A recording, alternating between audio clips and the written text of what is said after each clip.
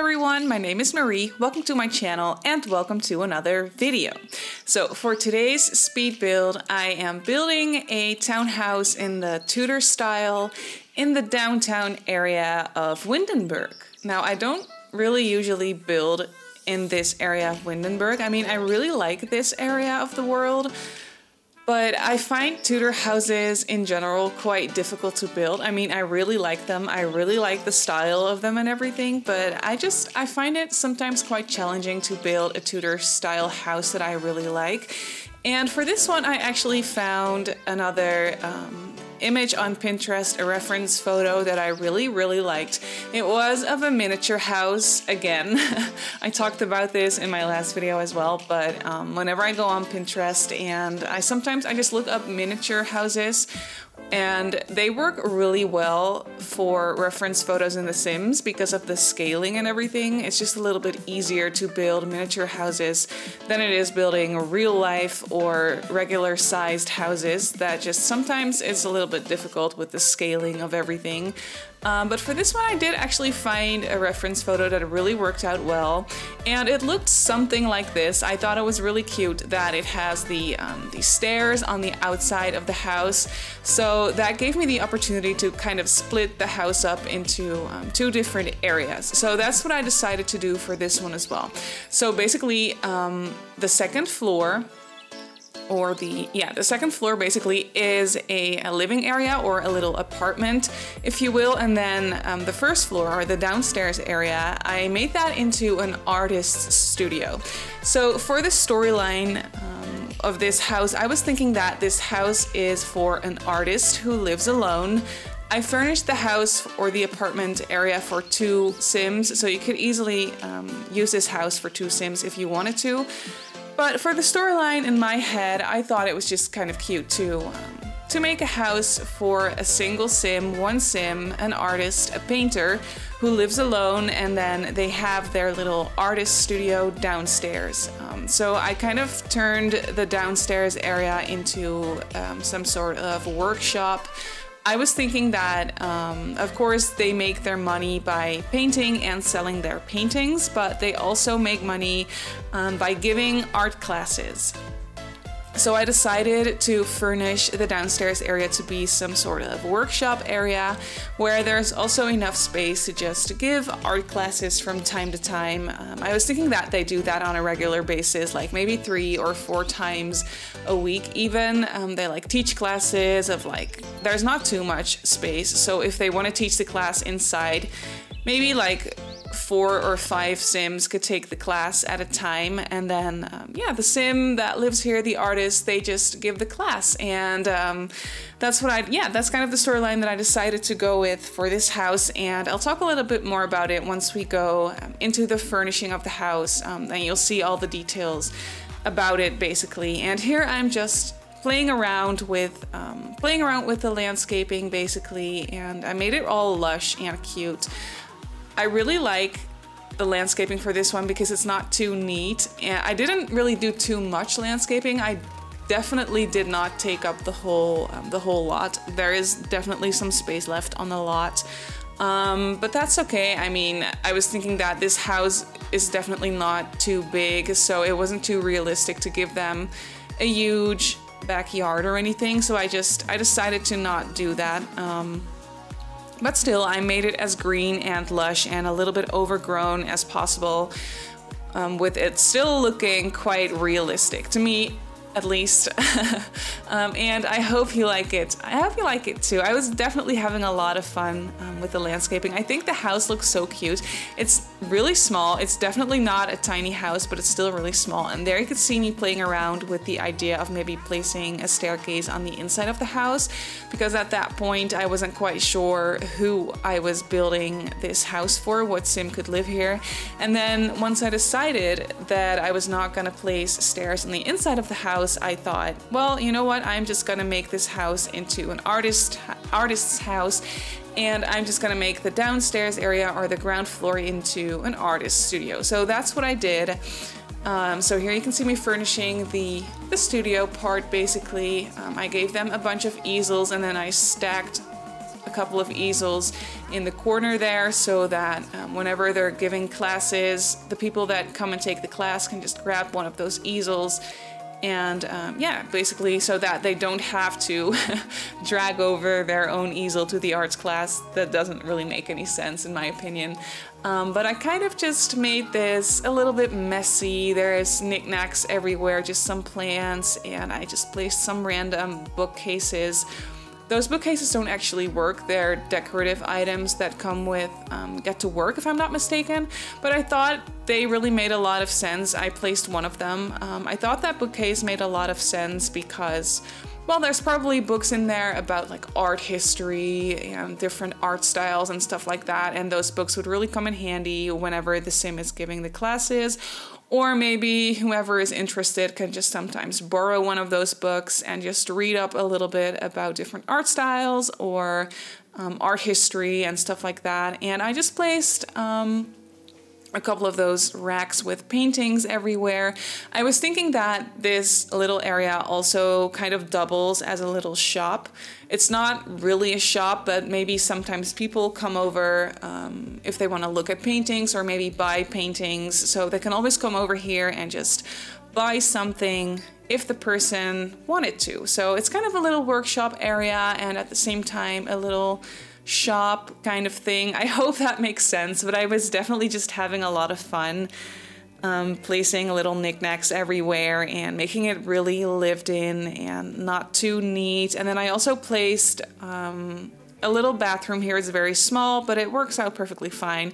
So that whenever they're giving classes or people are coming over, um, they don't have to go upstairs to use the bathroom because that, that just wouldn't really make any sense. Um, so yeah, that's basically it for the downstairs area. By the way, I don't know if you could hear it, but I do have a new microphone. So I'm just kind of testing it out right now. I already did um, record this voiceover yesterday, but I got my new microphone today in the mail. So I was like, okay, I need to try it out. Um, and since this video wasn't edited yet, I thought I might as well just try again and record the voiceover again. And um, well, maybe you can hear the difference. You can always let me know how you think it sounds. Do you think it sounds better? Because I definitely do think so. I do think that I need to play around with the settings a little bit more on the microphone, um, but I'll just do that later. I just wanted to test it out real quick. And now that I have this microphone, by the way, that also means that I can go ahead and maybe do some more real-time builds for you guys because that's something that I definitely want to get into. I definitely want to try and also make like maybe gameplay videos, maybe at some point even with um, with a face cam. Um, I'm just not sure yet, but now that I have this microphone, I can kind of set it up in a way that um, I have a little bit more freedom to like move around and it's not so much in my way. So this definitely does give me the opportunity to maybe record some real-time builds and I'm definitely planning on doing that soon. So if you're interested in that, I just wanted to throw it out there. And I'm kind of trying to evolve my um, channel in a way, or evolve, is that the right word? Expand, I think is the word I'm looking for. Um, but yeah, back to the build. I was having a lot of fun furnishing this build because I could make those green kitchen counters that come with Parenthood, that green swatch, I could make it work in here. And I was so happy with that because I don't think I've ever used this green swatch of this kitchen. It's definitely one of my favorite kitchen counters in the game. Um, this one together with the one that came with um, Jungle Adventure, I really like that one too. Um, but this one definitely does have some difficult swatches that do not work in every type of furniture style or in every type of house. But for this one, I was so happy that I could make the green one work because I've mentioned this a thousand times in my other videos, but green is definitely my favorite color. And whenever I can make something green work in a house, I'm always really happy. Um, and for this house, it definitely worked out because it, all, it also has that like that richer brown, dark, like that deep tone of brown on top of the cabinet, if that makes sense, or on, on top of the counter and in the matching cabinets. Um, And I just thought that that wood tone made a lot of sense in this house. I did go with a lot of um, different type of wood tones in this house.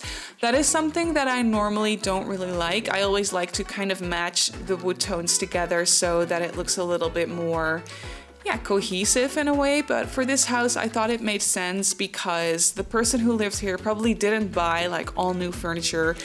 They probably just had to go with the furniture that was left here by the previous sim who lived here or um, maybe they had to go to a secondhand store to buy some furniture items or maybe they have a couple of like hand-me-down items. So it's definitely not all matchy-matchy and that's yeah something that I really like to play around with for this um, for this house. So there's a lot of mismatched wood tones in this house but I do think that it looks yeah that it kind of looks cute in a way and that in some weird way, it kind of ties it all in. Um, it ties it all in for some reason. I don't know why, but I just like the way that it looks, um, that it looks for this build. So yeah, you can just see me around, playing around with um, some different furniture items and I gave them a very small TV because I was thinking that the sim who lives here is not that much into watching TV or using the internet. Um, they'd rather just spend their time reading a book or painting because they're a painter. So I did give them a very small TV because they probably do watch like the news from time to time and they definitely do watch TV like sometimes, but not all the time, maybe not even every day. So there wasn't really a need to give them a very big TV and I also just didn't really like the look of a bigger TV in this house. So I just decided to go with a very small TV. Maybe it's so small that it's not even that realistic, but um, I still just kind of like the look of it for this little house anyway. Um, and now that I am talking about it, I do realize that I did not give them a proper um, study area or a proper like computer area but I don't think it really matters. You can always give the sim that you decide lives here, you can give them a laptop and you can place that laptop on the dining table. That would work out perfectly fine and uh, yeah, that would just fit and I didn't really feel the need to give them a proper study area because they wouldn't really, yeah, like I mentioned, they just really wouldn't use the internet that much. So that just didn't really make any sense. Um, but I did clutter up this space with a lot of like random little items and boxes and plants and there's some paintings on the floor that they still need to hang up maybe or they're just not, they just don't have the space to hang them up and they just place them on the floor, something like that. Um, but here you can see that I moved on to the bedroom. It is really small, but um, I did playtest everything and I will place down a dresser a little bit later um, that makes it look like your sim can only get to one side of the bed. But I did playtest everything and I had to just place the dresser into the wall a little bit more, but that makes it so that the, um, the bed is definitely accessible from both sides so you can't have two Sims sleeping in the bed, um, which made it a little bit more usable for, um, for gameplay purposes, in my opinion. So you could definitely just go ahead and play with two Sims in this house if you wanted to. You can also just renovate the whole build if you wanted to. Like, it really doesn't matter to me. Um, but yeah, this is just the way that I like to furnish it. And I also did place a couple of clutter items in this room on the little side tables. Not too much because it's a very small area already and I did use that swatch of the bed with a lot of like the patterned one and then there's also patterned wallpaper. So I didn't really want to make this room too busy looking but there's still a lot of knickknacks and a couple of plants everywhere. Um, and yeah, I just placed a little rug. That's definitely one of my favorite rugs and I think I overuse it especially underneath beds, but I just, I don't know, it fits so perfectly and it just looks so fluffy and comfortable. Um, but yeah, here you can see that I um, am furnishing the tiny little bathroom. It's really small, but everything is functional figured you don't really need anything else than just a shower, a sink, and um, a toilet in here. And then I just placed a couple of cleaning items and it's really simple. It's nothing too special. It's definitely not one of my favorite bathrooms that I've ever done, but I still think that it really looks good. Um, in a way and here I decided to give them a tiny little backyard area it's, it's definitely really small But I figured I should give them a little bit more outside space. So I decided to go ahead and place down a chess table because that's always handy for gameplay purposes. And I also think that the sim that lives here would really just enjoy a good game of chess from time to time because it's so like relaxing and just you can just sit outside and play a game. And that's something, for example, that they'd rather do than um, watch TV inside. And I also decided to give them a tiny little grill. It's very small um, and a little bit outdated looking, but I always like to include a grill in my builds for gameplay purposes as well. And yeah, that's basically pretty much it for the build. So I hope you like this house. You can download it off the gallery. My username on the gallery is Simmary Sims. You can also follow me on Instagram and on Twitter if you want to. My handle on there is at Simmary Sims. And as always, you can always leave your questions and comments in the comment section down below. And I just want to say thank you so much for watching, and I'll see you all in my next build. Bye!